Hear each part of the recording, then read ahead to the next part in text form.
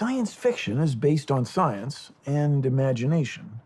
But right now, as an observer of the human condition, it looks to me that almost all of our science fiction is apocalyptic. It's about a future for humankind that kind of sucks. But on Star Trek, it's not like that. It's never like that. In all the versions of Star Trek, the future for humankind is optimistic. They've solved all the problems of food, clothing, and shelter. You know how they solved them? Through science.